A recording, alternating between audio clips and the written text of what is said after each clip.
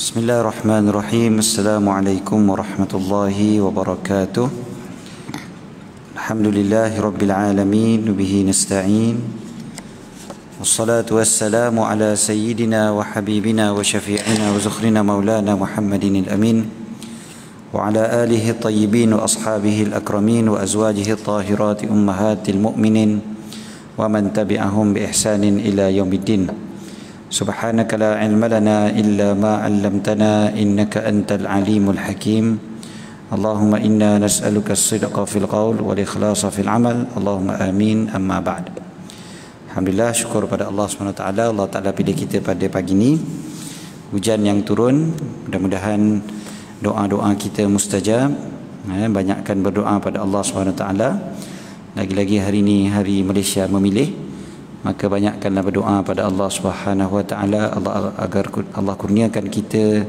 pemimpin yang baik. Allahumma walli umurana khiyarana wa la tuwalli umurana shirarana. Ya Allah, kurniakanlah kami kepimpinan kami di kalangan yang terbaik di kalangan kami dan janganlah engkau serahkan kepimpinan pada kami di kalangan yang buruk daripada kami. Okay, insya-Allah pada pagi ini kita akan sambung dulu kitab kita. Pagi ni nampak macam kurang sikit orang mungkin balik kampung banyaknya. Mundi hujan pula lagi kan? Jadi nampak macam sikit-sikit orang tapi tak apa pengajian tetap diteruskan insya-Allah. Jadi kita sampai pada tajuk yang baru ataupun kitab yang baru bab yang baru iaitu kitabul azkari fi salawatin makhsusah.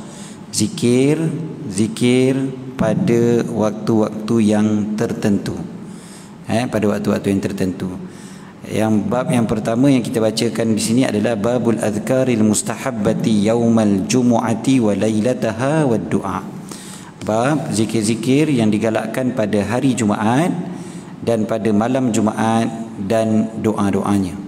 Okey.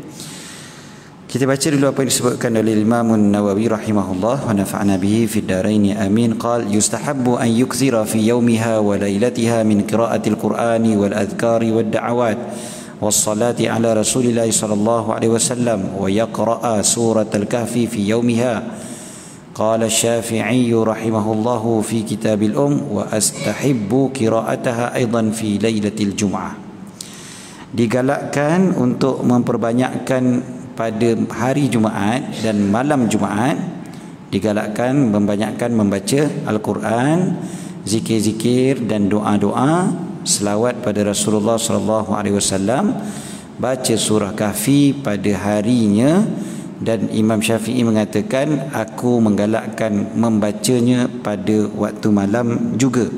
Ha, jadi maknanya malam dan siang Jumaat baca surah kahfi ni dua-dua eh. Maknanya malam Jumaat pun disunatkan siang Jumaat pun disunatkan. Ha, dua-dua sekali.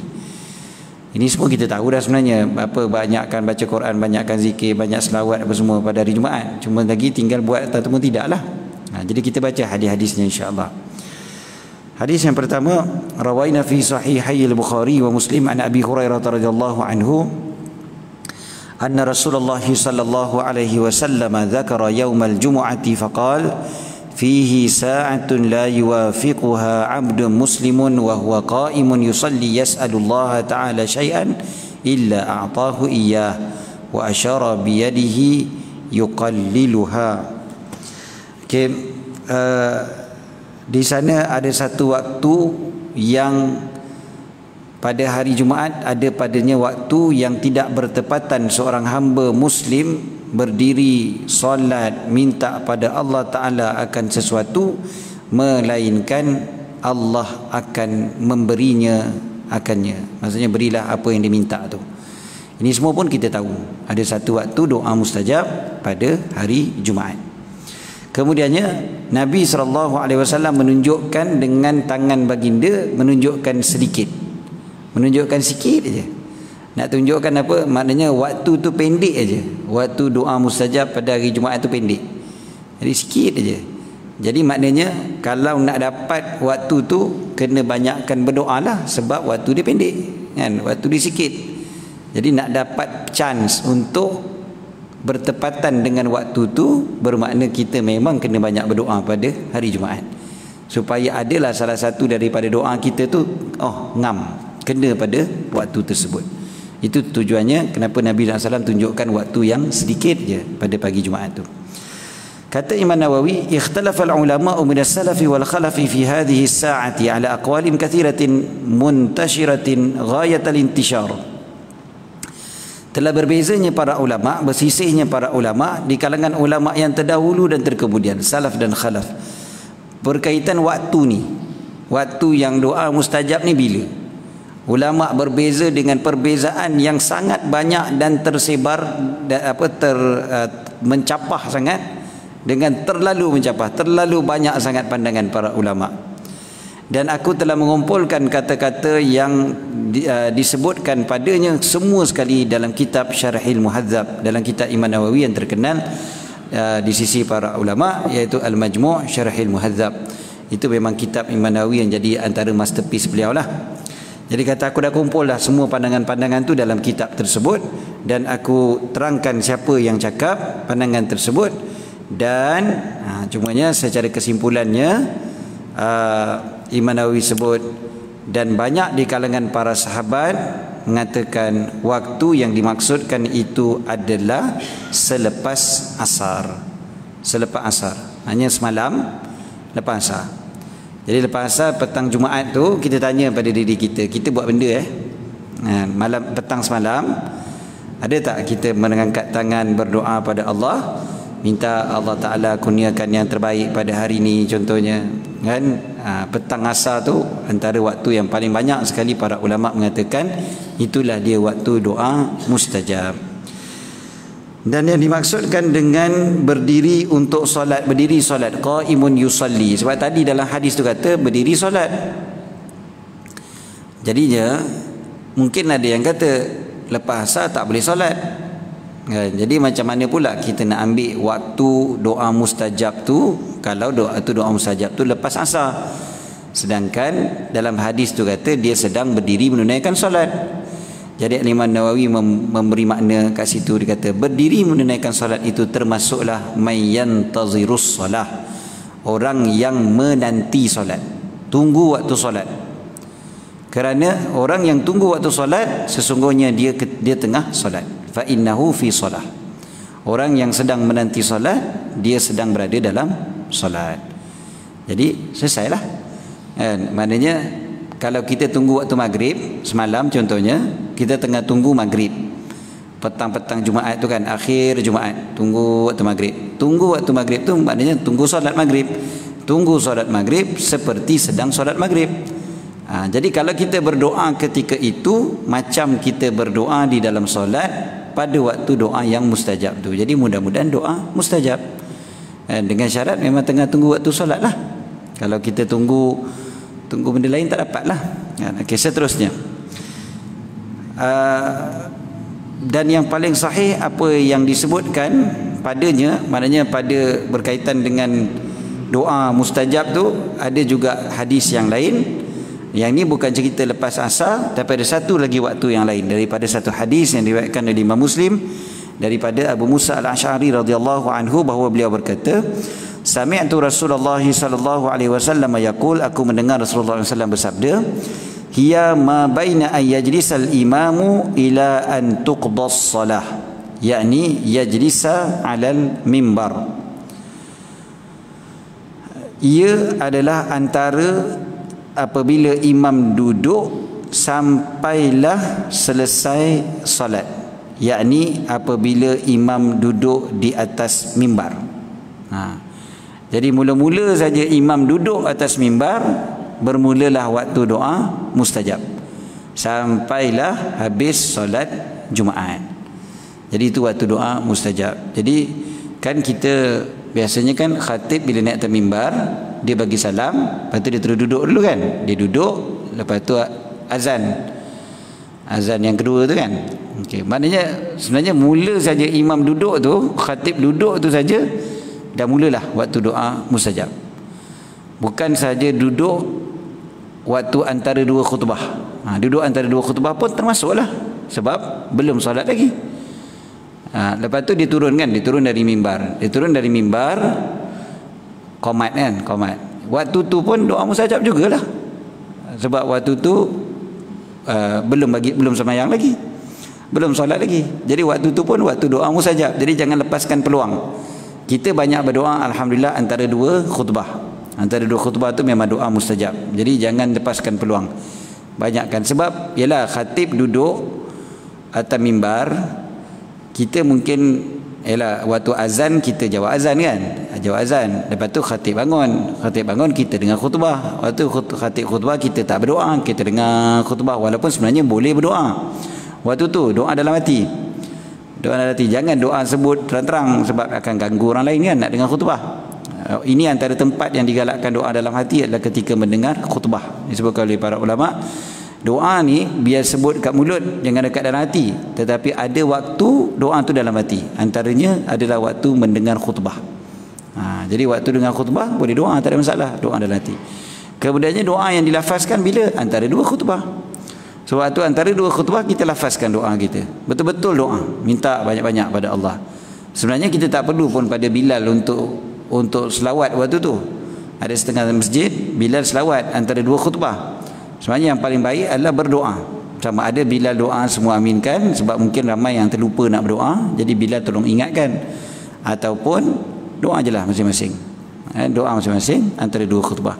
Lepas tu bila imam turun, khatib turun dari mimbar nak kamat, kita terus berdoa waktu tu. Jangan sibuk tengok jam nak masuk kerja dah ni. Sebagainya banyak. Tak payah tengok jam tak ada. Banyakkan berdoa waktu tu. Jadi waktu khatib turun dari mimbar je kita terus berdoa. Doa, doa, doa, doa. Lepas tu Bilal qamat kan. Bilal qamat jawab qamat. Habis qamat doa lagi. Kita doa lagi doa, doa, doa selagi mana imam tak angkat takbir. Kan imam kan luruskan saf dulu, rapatkan saf semua. Waktu tu kita berdoa. Itu antara waktu doa yang sangat mustajab. Jadi jangan lepaskan peluang doa ketika itu. Okay, selesai. Adapun membaca surah Al-Kahfi dan selawat ke atas Rasulullah sallallahu alaihi wasallam pada keduanya terdapat banyak hadis-hadis yang masyhur. Aku meninggalkan membawanya kerana akan menyebabkan panjangnya kitab dan kerana hadis-hadisnya masyhur. Dan sebahagian daripada hadis-hadis itu juga telah kita sebutkan uh, dalam babnya. Maknanya bab sebelum ni contohnya bab selawat pada Nabi sallallahu alaihi wasallam. Dan selain daripada itu disebutkan juga oleh Imam Nawawi hadis yang tertentu yang berkaitan dengan ni berkaitan dengan selawat ni adalah ataupun bukan selawat uh, apa yang nak dibaca pada hari Jumaat apa yang didoakan pada hari Jumaat zikir-zikir pada hari Jumaat selain daripada selawat dan juga kafi adalah وروينا في كتاب ابن سني عن أنس رضي الله عنه أن النبي صلى الله عليه وسلم قال من قال صبيحة يوم الجمعة قبل صلاة الغداء أستغفر الله الذي لا إله إلا هو الحي القيوم وأتوب إليه ثلاث مرات غفر الله له ذنوبه ولو كانت مثل زبد البحر Siapa yang baca pagi Jumaat sebelum sembahyang subuh Astaghfirullah alladzi la ilaha illa huwal hayyul qayyum wa atubu ilaih tiga kali Allah ampunkan dosanya walaupun sebanyak buih di lautan. Ha, walau sebanyak buih di lautan. So baca pagi-pagi sebelum solat sebagian ulama sebut sebelum solat Jumaat. Pagi sebelum solat Jumaat.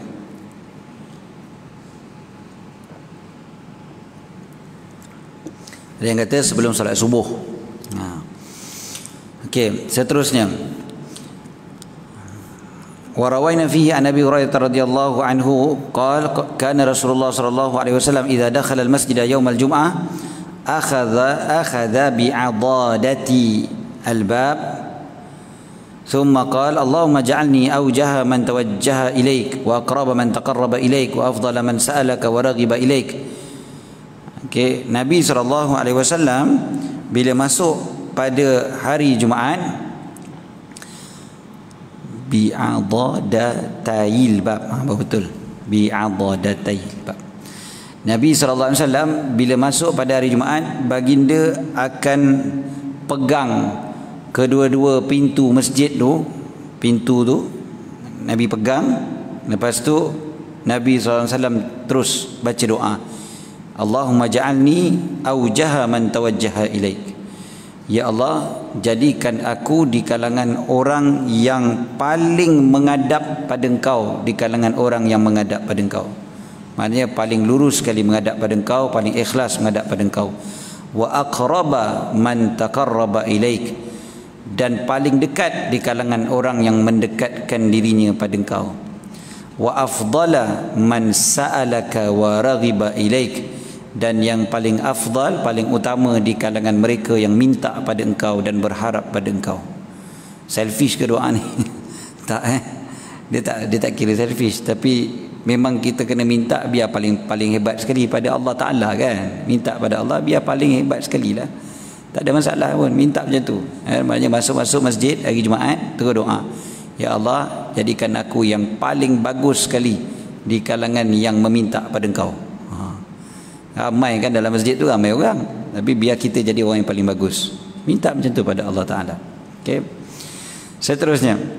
Aku berkata Imam Nawawi ya. Imam Nawawi kata digalakkan untuk kita membaca ij'alni min aujahi man tawajjaha ilaik wa min aqrabi wa min afdali fatazidu lafzata min. Ha, juga digalakkan Imam Nawawi kata tambah perkataan min min itu ditukar jadi di kalangan. Maksudnya ya Allah jadikanlah aku di kalangan yang paling lurus menghadap pada engkau. Di kalangan yang paling dekat di kalangan orang yang mendekatkan diri pada engkau. Ha, maknanya bukan aku yang paling dekat tapi aku ni bersama-sama dengan orang yang paling dekat.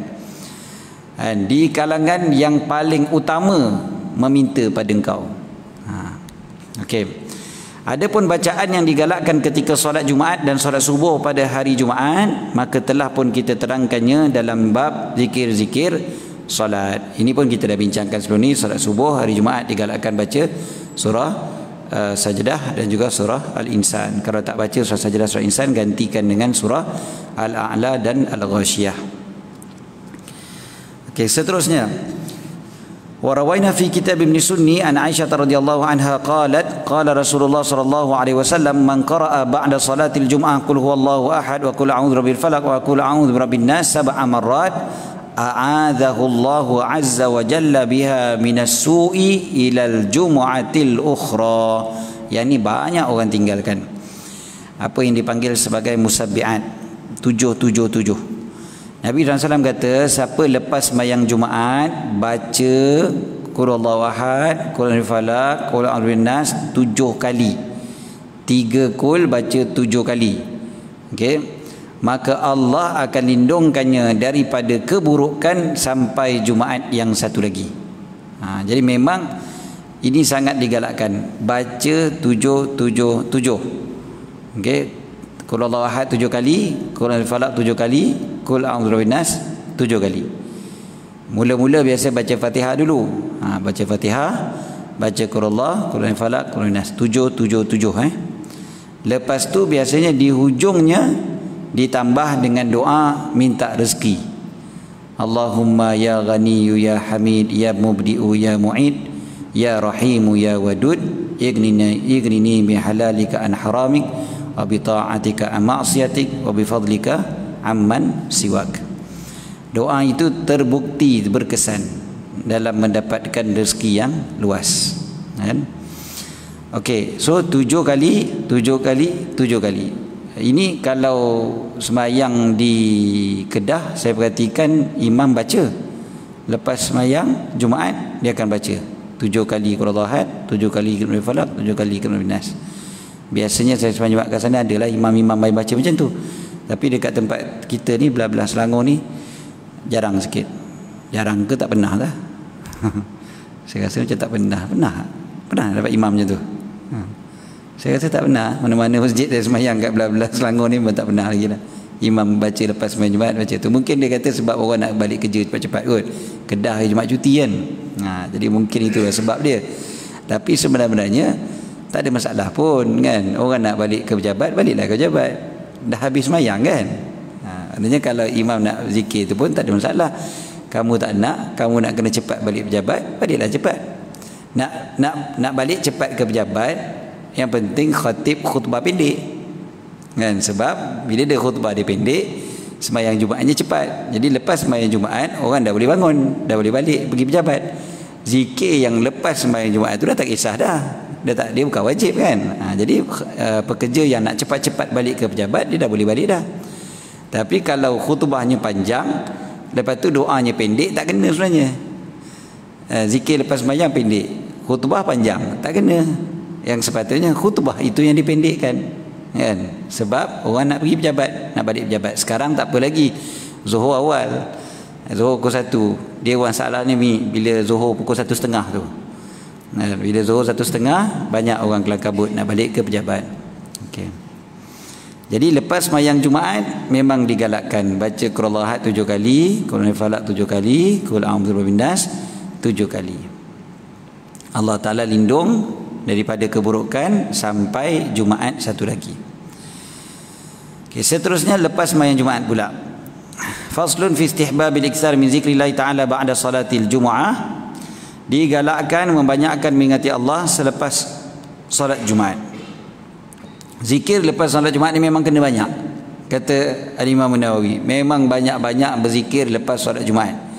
Berdasarkan kepada ayat Quran, fa idza qudiyatis salah fantashiru fil ardi wabtaghu min fadlillah wadhkurullaha kathiran la'allakum tuflihun.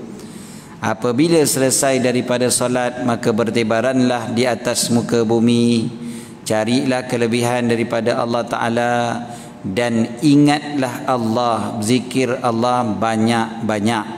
Mudah-mudahan kalian berjaya. Ha, maknanya zikrullah selepas daripada salat Jumaat.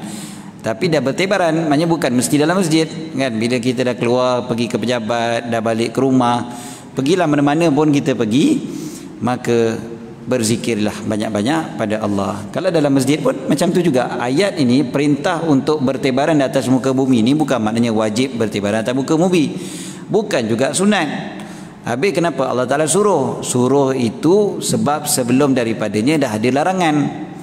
Kan sebelum sebelum selesai solat, kita tak boleh bertibaran atas muka bumi. Kita wajib pergi ke masjid. Wajib duduk dalam masjid. Wajib salat Jumaat. Jadi bila sebut bertibaranlah, bila dah habis solat maka bertibaranlah atas muka bumi. Maknanya, okey sekarang dah boleh. Maknanya bukan arahan tu. Walaupun bunyinya macam arahan bertebaranlah di atas muka bumi. Masuk ke situ boleh bertebaran di atas muka bumi. Sebab dia datang selepas larangan.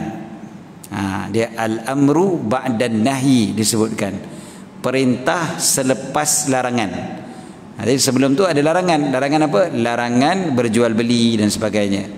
Kan bila dah dilafazkan azan yang kedua tu maksudnya dah masuk waktu solat Jumaat tu kan kita dilarang untuk berjual beli. Dah tak boleh jual beli walaupun dekat Shopee sekalipun. Kan? Ha, dia bukan maknanya oh kat Shopee boleh ke ustaz? Tak ada kacau orang lain. Ha, jadi kita duduk dalam masjid kita duduk berniaga. Ha, jangan sebab dah masuk waktu larangan. ha, jadi bila dah dilarang kan bila dah dilarang kemudiannya dibenarkan balik. Lepas solat dibenarkan. Jadi Allah pun bagi tahu bertebaranlah di atas muka bumi. Ha, jadi jangan salah faham. Ayat ini kena faham dengan ayat sebelum daripadanya. Ha, sebab saya memang pernah dengar dan saya pun pernah cerita kat sini rasanya. Ha, memang ada orang yang cakap macam tu. Ha, ada ustaz cakap. Dia kata wajib lepas solat Jumaat semua bangun keluar dari masjid. Kata. dia kata wajib pun. Ha, tu haramlah duduk terus dalam masjid. Ah dia kata haram dosa kata. Duduk dalam masjid lepas main Jumaat. Eh, saya kata mana datang dalilnya ah, mana, mana macam mana boleh kata wajib? Dia kata tu ah dalam Quran Allah Taala sebut fantashiru fil ard. Fa idza qudiyatis salah fantashiru fil ard. Bila dah selesai solat maka bertibaranlah atas muka bumi. Ha. jadi dikatakan tu perintah wajib lah ha, senangnya nak keluarkan hukum saya pun jawab macam tu je. Saya jawab simple je ustaz. Ustaz lepas ustaz lepas tahallul menunaikan haji, dia tanya ustaz dah pernah, dah pernah haji dah? Dah. Ustaz lepas tahallul haji tu, ustaz tembak burung apa? Ustaz eh, bukan tembak, ustaz buru binatang apa? Kan? Ustaz buru apa? Ustaz buru uh, kancil ke ustaz buru dab ke kan apa yang ustaz buru dia kata apa hal pula? Tanya soalan ni apa kaitan dengan Jumaat ni dia kata saya katalah tak apalah ustaz jawab dah dulu. Ustaz memburu apa lepas habis tahallul. Dia kata tak ada lah tak ada buru-buru apa dah lah. Kan? Makanan dah disediakan oleh pihak tabung haji nak pergi memburu buat apa? Saya katalah maknanya ustaz dah buat benda haram. Ustaz tak buat benda wajib. Apa dia? Dalam Quran Allah Taala sebut wa idza halaltum fastadu. Bila tahallul maka memburulah. Sama je macam ayat ni kan? Bila habis solat maka bertebaranlah. Yang tu bila tahallul maka memburulah. Kalau ustaz kata wajib bertebaran atas muka bumi lepas solat Jumaat maknanya ustaz pun kena kata wajib memburu lepas tahallul. Ha, dia kata eh tak ah. Tak pernah belajar pun. Ah iyalah. Memang tak ada ulama cakap macam tu. Sebab apa? Sebab apa tak jadi wajib? Sebab lepas memburu lepas tahallul tu memburu sebab apa? Tak jadi wajib. Sebab ketika tahallul haram memburu. Jadi perintah tu bukan perintah suruh pergi memburu. Perintah tu nak kata boleh pergi memburu bila dah tahallul. Masalah apa? Waktu belum tahallul tak boleh memburu. Haram hukum dia pergi memburu. Jadi perintah tu datang selepas larangan. Perintah datang lepas larangan bukan membawa makna wajib. Ha, sama macam yang ini. Bertebaran atas muka bumi asalnya harus. Lepas tu haram bila masuk waktu solat Jumaat. Lepas tu Allah perintahkan maknanya boleh baliklah. Ha, dah boleh balik dah. Maknanya kalau kamu nak bertebaran silakanlah. Itu maksudnya. Jadi dia tak jadi wajib. Okey. Seterusnya.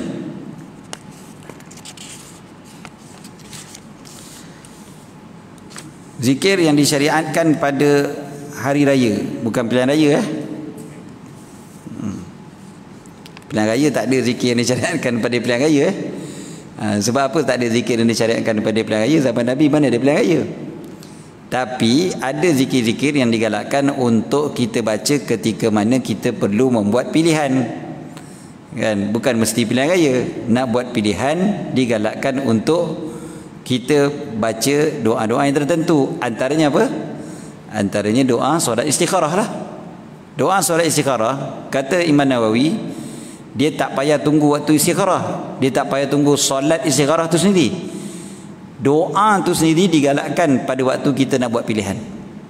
Ha, jadi maknanya tak mesti solat istikharah tu. Jadi contohnya okay, lepas subuh tak boleh solat istikharah. Dia pula nak pergi keluar mengundi betul-betul lepas subuh. Ha, solat istikharah tak boleh buat lepas subuh. Tunggu sampai naik matahari nanti baru boleh kan? Ha, jadi caranya adalah uh, doa. Doa istikharah ataupun bagi kita tuan-tuan yang tuan-tuan tak pergi lagi pergi mengundi nampak gayanya kan? Masih ada kat masjid lagi ni. Maknanya tuan-tuan nak pergi nanti. Jadi tunggu sampai naik matahari kejap lagi buatlah solat istikharah. Kan? Tunggu matahari naik. Matahari naik pukul apa? 6.59 tambah dengan 16 minit 7 suku. Okay. ha, so 7 suku ataupun 7.20 lebih kurang So lebih kurang tujuh suku tujuh dua puluh kejap lagi solat istikharah. Solat istikharah lepas tu baru pergi mengundi. Ha, solat istikharah dua rakaat lepas tu minta kepada Allah supaya Allah kurniakan kita pilihan yang terbaik. Mudahkan untuk kita pilihan yang terbaik.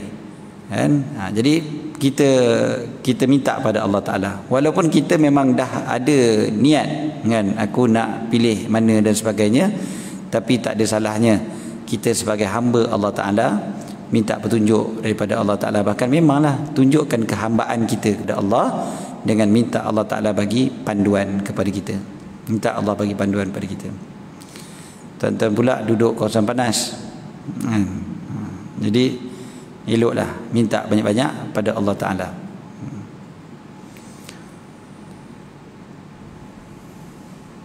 Tapi tak semua mengundi kat sini kan Sebagian mengundi tempat lain Duduk je kat sini Orang Malaysia macam tu lah kan ha, Dia dia kalau kalau perhati betul-betul tu bila ramai sangat orang balik kampung mengundi ni kan kita kata ya Allah banyaknya orang Malaysia tak tukar IC kan Artinya memang semua tak nak tukar IC. Sebab apa? Nak mengundi tempat tu.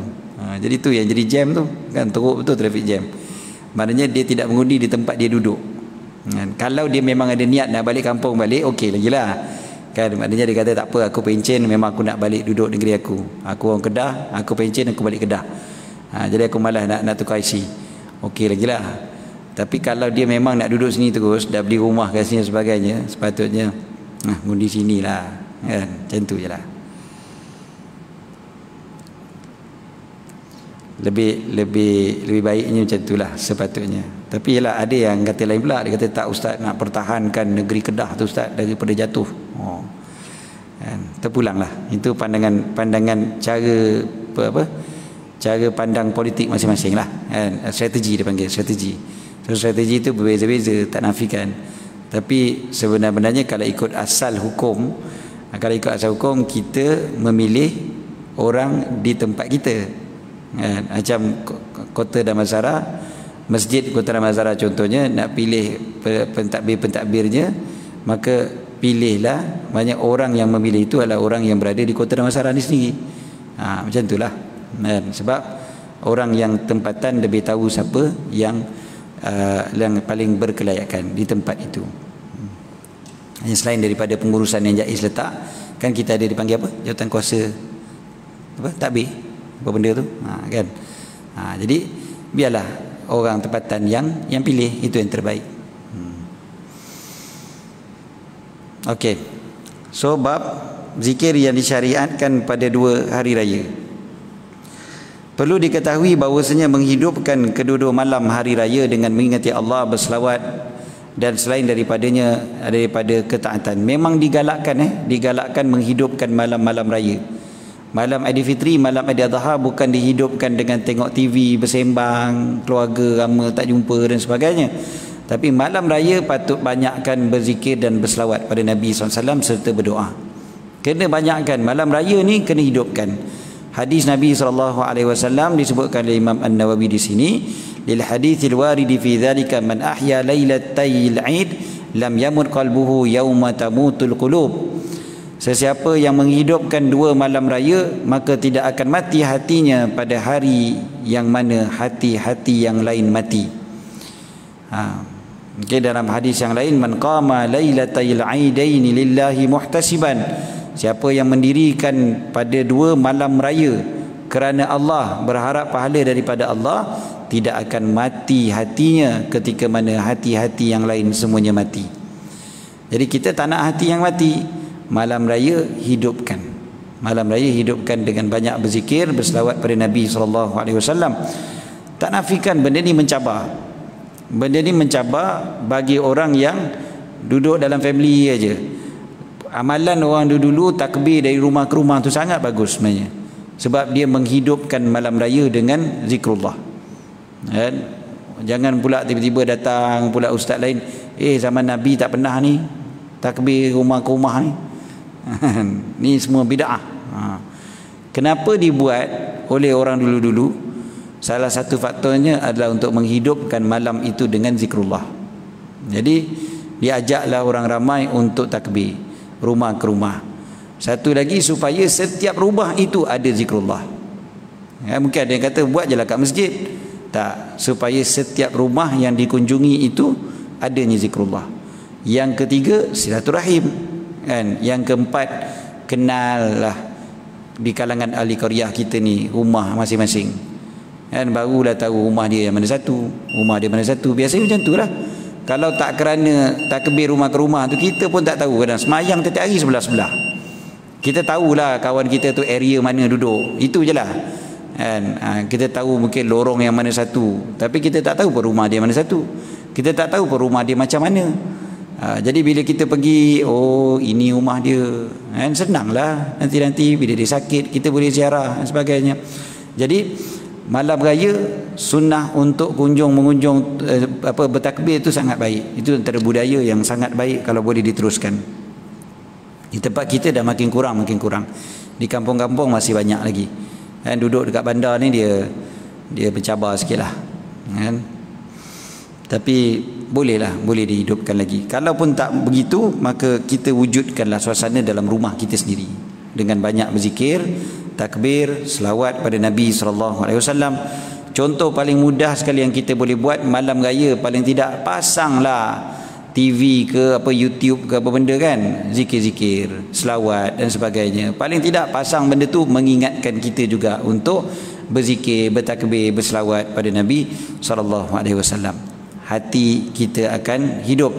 Dan walaupun kita tak nafikan hadis-hadis ni dhaif kan disebutkan oleh al-Imam An-Nawawi dekat sini begitulah yang datang dengan riwayat Imam Syafi'i dan Ibnu Majah. Dan ia adalah hadis yang dhaif yang kami riwayatkan daripada riwayat Abi Umamah ha, secara marfu' dan mauquf. Marfu' sampai pada Nabi SAW mauquf maknanya sampai pada Abi Umamah sahaja. Kedua-duanya dhaif akan tetapi hadis-hadis keutamaan dibenarkan untuk digunakan padanya seperti mana telah kita sebutkan pada awal kitab nah maknanya walaupun hadis ini dhaif tetapi hadis ini digunakan oleh para ulama Ha, jadi jangan tolak hadis dhaif. Kan? Hadis dhaif ini digunakan oleh para ulama dengan sangat meluas khususnya dalam bab fadailul amal, kelebihan-kelebihan amalan. So kat sini ni kita bukan cerita hukum. Kita bukan cerita hukum yang baru. Kita cerita tentang kelebihan berzikir pada malam raya. So dia termasuk dalam bab kelebihan-kelebihan. Ha, so bab kelebihan ni tak ada masalah. Gunakan hadis yang dhaif.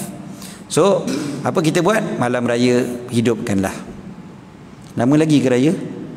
Hmm. Raya bulan apa? Kalau jangan jawab satu Syawal. Uh, bulan empat lah. Bulan empat. Lagi lima bulan. Oh, lambat lagi lah. Tapi kita baca lah. Dah masuk dalam tajuk ni nak buat macam mana kan? Takkan nak tunggu malam raya baru baca kitab ni? Jadi, kena baca jugalah. Ha, seterusnya tempat-tempat yang digalakkan bertakbir waktu dan tempat yang digalakkan bertakbir padanya ya.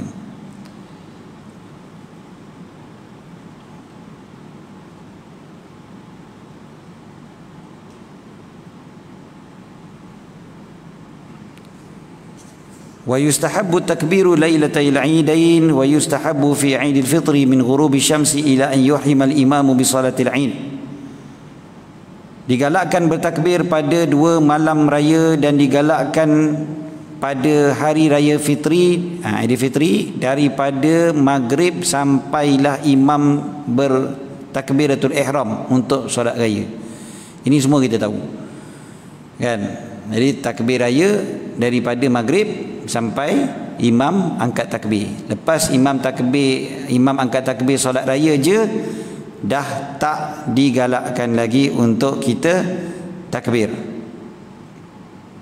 Okey? Seterusnya maknanya lepas sembahyang raya tak ada takbir dah lah Aidil Fitri tu. Ha, jangan pula tiba-tiba Tok Bilal pegang mikrofon Allahu Akbar kan? Tak payah Sembayang Aidilfitri lepas sembayang Aidilfitri tak ada takbir raya lagi dah. Okey, lepas tu wa yustahabbu dhalika khalfa salawati wa ghayriha min al-ahwal. Dan digalakkan demikian selepas daripada solat dan selain-selainnya daripada pelbagai keadaan. Maksudnya pada waktu maghrib sampai sembayang tu. Sampai pagi pagi raya tu lah. Maknanya lepas sembahyang maghrib lepas sembahyang isyak lepas sembahyang subuh. Dan juga pada keadaan-keadaan yang lain dan digalakkan padanya bertakbir ketika mana bercampurnya manusia berkumpulnya manusia beramai-ramainya manusia. Bila ramai-ramai duduk sama-sama satu tempat takbir. Itu yang ulama ajar untuk takbir rumah ke rumah tu. Bila masuk ke rumah ramai-ramai takbir. Masuk rumah ramai-ramai takbir. Itu dipanggil izdihamin nas. Ha, jadi tempat beramai-ramai. Macam tu juga kalau pergi ke pasar ada jualan murah sempena malam raya apa dia panggil penghabisan stok malam raya. Jadi waktu tu sangat ramai berpusu-pusu dekat satu tempat. Bila tempat orang berpusu-pusu maka digalakkan takbir malam raya tu. Okey dan bertakbirlah dalam keadaan berjalan dalam keadaan duduk dalam keadaan baring di jalanan di masjid di atas katil. Semua takbir ditonton biasa buat tuan-tuan. Atas katil pun takbir raya juga. Ha. memang digalakkan. Memang digalakkan. Ha, niat azam siap-siap dah. Raya Aidilfitri tahun ni atas katil pun aku takbir raya juga. Ha. cubalah tuan-tuan. Kan sunnah. Seterusnya Aidil Adha. Aidil Adha takbir padanya daripada lepas solat subuh hari Arafah sampailah solat asar akhir hari hari tasyrik. Maknanya hari tasyrik yang ketiga tu raya keempat. Bermakna lima hari takbir raya Aidil Adha daripada lepas subuh sampai lepas asar lepas subuh 9 Zulhijjah sampai lepas asar 13 Zulhijjah. Lepas subuh 9 Zulhijjah pagi hari Arafah sehari sebelum raya dah mula takbir eh dan takbir itu uh, lepas daripada solat asar tu lepas tu dah berhenti dah. Dan inilah yang paling sahih yang beramal padanya. Dan walaupun di sini ada khilaf yang masyur dalam mazhab kita dan juga mazhab-mazhab yang lain. Tetapi yang sahih adalah apa yang kami sebutkan ini. Dan telah datangnya hadis-hadis yang kami riwayatkan dalam sunan Al-Baihaqi dan telah aku jelaskan semua itu dari sudut hadisnya dan uh, berkaitan dengan pandangan-pandangan mazhab di dalam kitab Syarahul Muhadzab. Dan aku telah sebutkan keseluruhan cabang-cabang yang berkaitan dengannya. Dan aku sebutkan di sini hanyalah sekadar ringkasannya. Telah berkata ulama mazhab Syafi'i lafaz takbir. Okey ini dah lafaz lah. maknanya berkaitan dengan waktu waktu takbir raya Aidil Adha mula daripada subuh 9 Zulhijjah. Ha, ingat macam tu je. Ha, tempat kita banyak lagi imam lupa benda ni. Kan lagi-lagi pada pagi 9 Zulhijjah. Biasa malam raya baru start takbir. Sebenarnya daripada pagi tu dah dah start takbir dah. Lafaz takbir pula disebutkan Allahu Akbar, Allahu Akbar, Allahu Akbar. Tiga kali berturut-turut. Dan ulanglah ia berdasarkan pada keinginannya. Maknanya sukatilah nak ulang banyak pun. Tapi lafaz dia tiga tiga tiga. Allahu Akbar Allahu Akbar Allahu Akbar. Ha, tiga. Jadi lepas tu ulang lagi. Allahu Akbar Allahu Akbar Allahu Akbar. Allahu Akbar Allahu Akbar Allahu Akbar. Ulanglah sepuluh kali seratus kali pun tiga tiga tiga. Kan? Takbir tu. Memang tiga berturut-turut kalau tambah maka Imam Syafi'i mengatakan kalau bertambah maka sebutlah Allahu akbaru kabira walhamdulillahi kathira wa subhanallahi bukratan wa asila la ilaha illallah wa la na'budu illa iyyahu mukhlishina lahuddin walau karihal kafirun la ilaha illallah wahdah sadaqa wa'dah wa nasara 'abdah wa hazama al ahzaba wahdah la ilaha illallah wallahu akbar itu lebih baik dan tidak dan berkata ulama mazhab Syafi'i juga tidak mengapa untuk baca apa yang dibiasakan oleh manusia oleh orang ramai iaitu Allahu akbar Allahu akbar Allahu akbar la ilaha illallah Allahu akbar Allahu akbar walillahil hamd. Ha, ini yang biasa kan? Ha, jadi mana hari pun sebut dah dalam kitab beliau. Ha, jadi apa yang kita baca selalu takbir raya tu memang ada dalam kitab macam tu. Ha, jadi betul lah apa yang kita baca selama ni pun memang sangat bagus. Ya.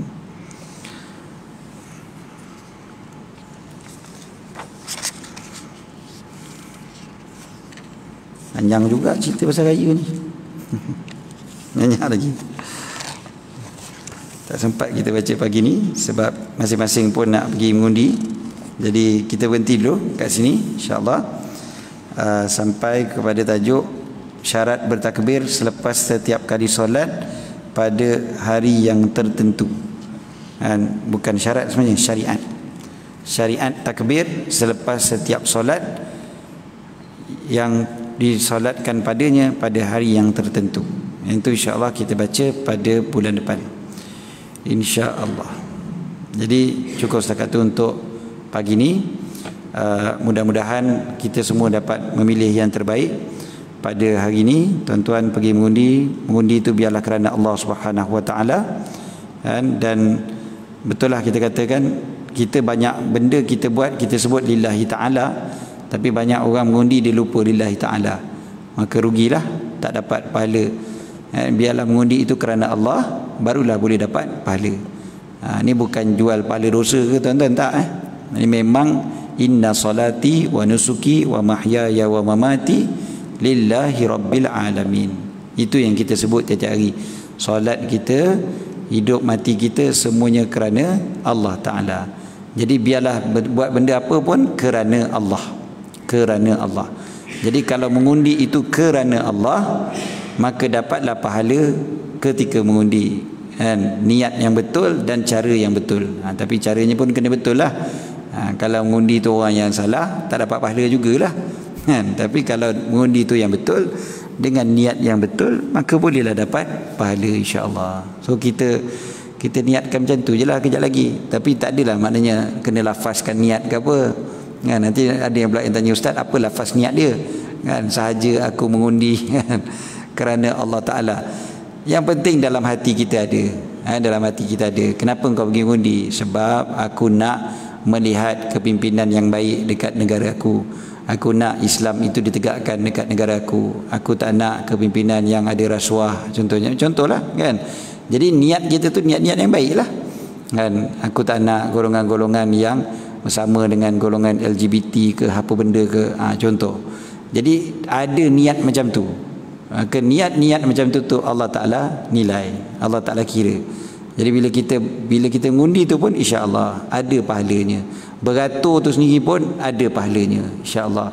Dan apa saja yang kita buat tu ada pahala bila niat kita betul dan cara kita tu betul. Ha, jadi jangan mengundi hanya semata-mata kerana oh orang ni pandai bercakap. Orang ni pandai dari segi ekonomi semata-mata. Ha, tapi kita tak melihat daripada sudut-sudut yang lain. Kan nak, nak mengundi tu biar tengok pelbagai sudut barulah kita boleh dapat pahala dengan mengundi itu insya-Allah. Jadi cukup setakat itu untuk kali ini. Aku lu qauli hadza wa astaghfirullahal azim li wa lakum. Bismillahirrahmanirrahim. Rabbana anfa'na bima 'allamtana, rabbi 'allimna alladhi yanfa'una. رب فقهنا وفقه أهلنا وقرابات لنا في ديننا مع أهل القطر wa zakar. رب وفقنا وفقهم lima ترتضي قولا وفعلا كرما وارزق الكل حلالا دائما وأخلا أتقياء علماء نهضى بالخير نكفى كل شر. ربنا أصلح لنا كل شؤون وأكر بالرضا منك العيون واقض عنا ربنا كل الديون. قبل أن يأتينا رسل المنون واغفر واستر أنت أكرم من ستر وصلاة الله تغشى المصطفى. من إلى الحق دعانا والوفاء بكتاب فيه للناس شفاء وعلى الآل الكرام الشرفاء وعلى الصحب المصابيح الغرر. اللهم اهدنا بهداك واجعلنا ممن يسارع في رضاك. ولا تولنا وليا سواك ولا تجعلنا ممن خالف أمرك وعصاك. وحسبنا الله ونعم الوكيل. ولا حول ولا قوة إلا بالله العلي العظيم. اللهم ول أمورنا خيارنا. ولا تولي أمورنا شرارنا. اللهم اجعل ولايتنا في من خافك واتقاك يا رب العالمين. اللهم اجعل ولايتنا في من خافك واتقاك يا رب العالمين. اللهم اجعل ولايتنا في من خافك واتقاك يا رب العالمين. اللهم انصر الإسلام والمسلمين. اللهم انصر من نصر الدين واجعلنا منهم واخذل من خزل الإسلام والمسلمين. ولا تجعلنا منهم صلى الله على سيدنا محمد وعلى آله وصحبه وبارك وسلم والحمد لله رب العالمين